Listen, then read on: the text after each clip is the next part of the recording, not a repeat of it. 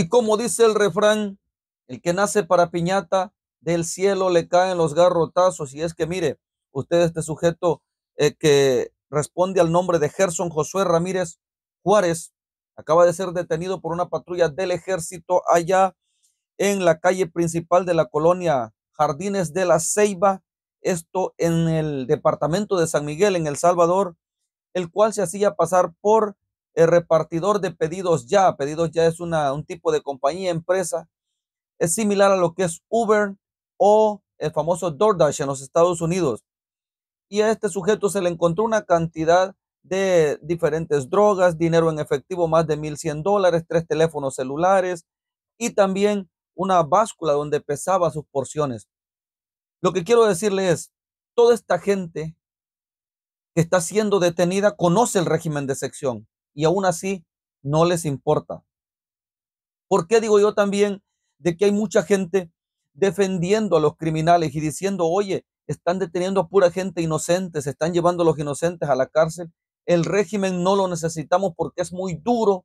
El régimen eh, está abusando de la gente, abusando de los inocentes.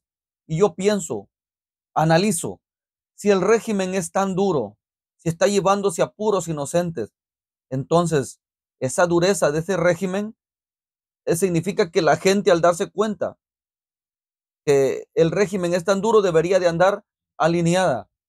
Pero cuando usted se da cuenta de que estos todavía tienen la audacia de ponerse a hacer estas cosas sabiendo o suponiendo que el régimen está tan duro y haciendo este tipo de cosas, ahí se da cuenta usted que el régimen no está tan duro.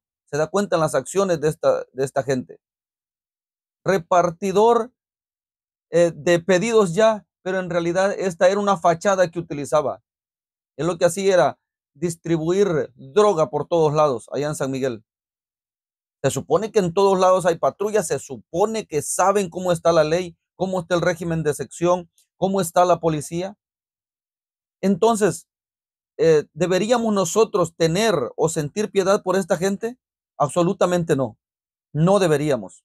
Porque usted puede sentir eh, piedad o pena por alguien que tal vez no conozca la ley. Imagínese que alguien no conoce la ley y comete un error. Es que yo no sabía cómo estaba la ley. Yo no conocía la ley de este país. Yo no sabía las consecuencias de mis acciones. Pero estos conocen absolutamente las consecuencias y aún así no les importa. ¿Qué significa? Entonces que la ley haga su trabajo y los juzgue y los castigue, que respondan por sus acciones. Cuando estén allá en el secot desnudos, cuando estén allá en el secot con las manos atrás, así empilados uno tras otro. No tiene por qué venir usted diciendo, hoy no te da lástima ver a esos allí, no me da lástima verlos ahí. Para nada. ¿Por qué? porque conocen la ley. Conociendo la ley y conociendo las consecuencias, aún así hacen eh, todo lo que hacen, hacen toda la maldad, quiebran la ley, cometen crímenes, significa que es que ellos se merecen ese tipo de trato. Nosotros le damos gracias al presidente Nayib Bukele por ese gran trabajo que ha hecho con el país en materia de seguridad. Entiendo que mucha gente tampoco está de acuerdo en algún otro tipo de cosas, porque quieren que todo se haga en un momento y no se puede hacer todo en un momento. Pero yo personalmente quiero ser agradecido y agradecer el gran trabajo que ha hecho liberando al país de las pandillas, de la inseguridad, porque puedo exigir mil cosas más, puedo exigir mil cosas más, pero prefiero irme por el lado de eh, el ser agradecido y agradecerle todo lo que el presidente Nayib Bukele ha hecho. Alguien más puede decir también, oye, pero es que es su trabajo. ¿Por qué tienes que agradecerle si es su trabajo, el trabajo del gobierno? Sí, pero también estuve cuando tuvieron cuatro o cinco presidentes más, que era su trabajo también mantener a la comunidad segura, mantener a El Salvador seguro, y fue cuando El Salvador se convirtió en la capital del crimen, la capital mundial del crimen, de los asesinatos.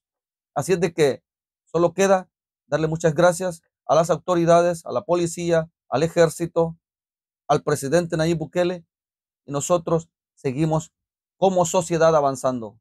Muchas gracias.